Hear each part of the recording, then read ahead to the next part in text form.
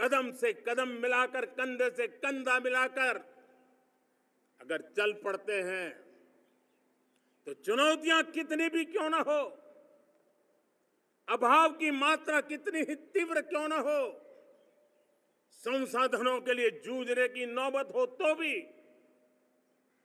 हर चुनौती को पार करते हुए हम समृद्ध भारत बना सकते हैं।